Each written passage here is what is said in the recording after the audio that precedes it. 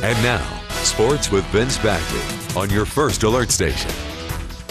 Good evening, Montana. Well, it's an unbelievably exciting time of year in sports for basketball fans. It's hard to imagine what it would be like to be a member of Missoula's Tinkle family, especially with three of them fighting with their different teams to make the NCAA tournament and a fourth family member fighting for a possible state championship. I was lucky enough to catch up with the whole family over the past week. Of course, this is the time of year that they all live for.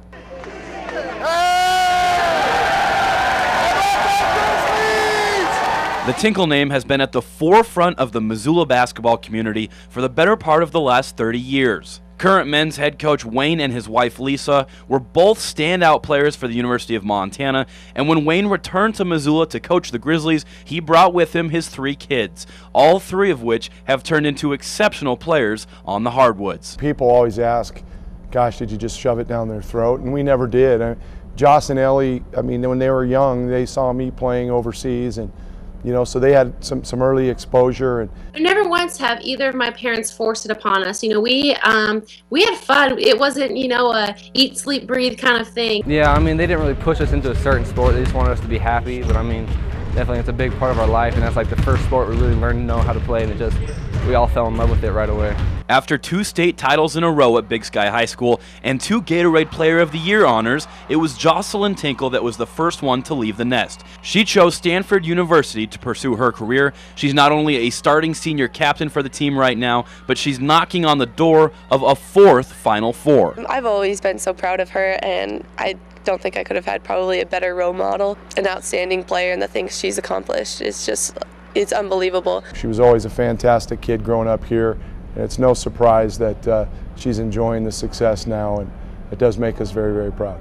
Just three years later, it was time for Ellie Tinkle to make her basketball decision. And after being an all state player three years for the Eagles, she decided to take her talents to Gonzaga in Spokane, the same town that her dad went to high school. My, my youngest daughter, Ellie, left this year, and then it was Lisa and I and Tres.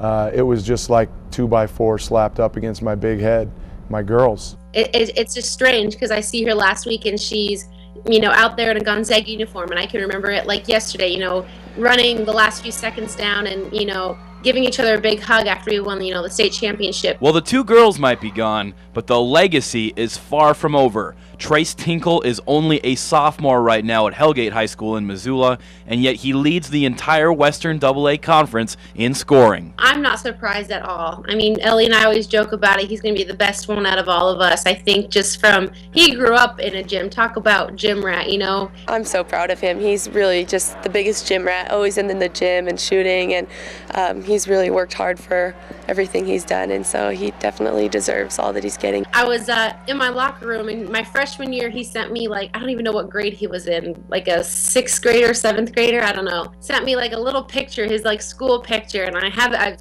I've hung it in my locker ever since. And he just looks like this baby, just like and it wasn't even that long ago. I come home for Christmas and I don't see him that often, and he's another couple inches taller. He now, you know, towers me. Well, there was some pressure, and you know, he's like, you know, I don't want to be the weak link and that sort of thing. Had some doubt. Uh, he's very focused and, and really works his tail off. So uh, I think, you know, if he keeps progressing, you know, he's he's going to have a lot of opportunity in front of him. The Tinkles will admit that all that talent made for a very competitive household, but they wouldn't have it any other way. Games in the driveway that turned into fights maybe. They never ended so well. They were short-lived, that's for sure. Um, we're all very competitive. Knowing they're always going to be your biggest supporters and your number one fans and having, you know, an older sister and also I'm learning things from my brother, things that I probably would have never been able to do. Like when the heck did he start doing, you know, his up and unders and I'm still amazed by some of the things he's able to do. So we just I think learn from each other because we all have our own abilities. Instead of trying to groom the next Tom Brady, you know, or the next Michael Jordan. Uh, you know, just try to get them to be responsible young adults. Couldn't be more proud of um, number one who they are and what they stand for. All great individuals, uh, great students, and the fact that they're good athletes is really just a bonus. Really great catching up with the whole family this past weekend. Of course, this is the time of year, super exciting. Three NCAA tournament possibilities for the Olders, and then for Tres, they're going to the uh, state tournament hopefully. So Sky's the it'll limit. be fun, definitely. Kidding. Great story. Thank you. Thank you, It was Vince, a lot of very fun. much. That was fun. We're back in a moment.